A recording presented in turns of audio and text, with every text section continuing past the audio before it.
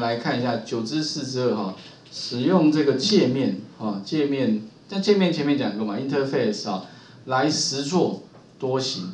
那前面有讲过说界面跟抽象类别之间的差异，那这边的话怎么做哈？interface i array，然后里面的话有个实作一个方法，那当然特别注意这边前面不需要加一个 abstract，因为那不是抽象方法，但是它就是一个抽象的方法。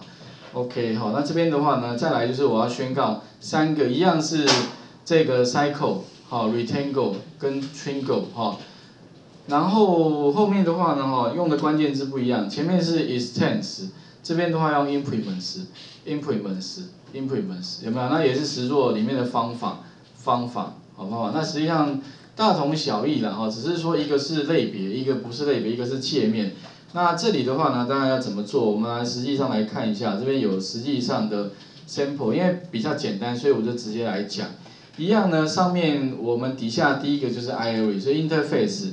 那这边的话呢，我实做一个方法，哈。那这边再来 implements 里面，因为我要需要半径，所以我这边的话宣告一个半径。那这里的话，各位可以去选择要不要用那个 private。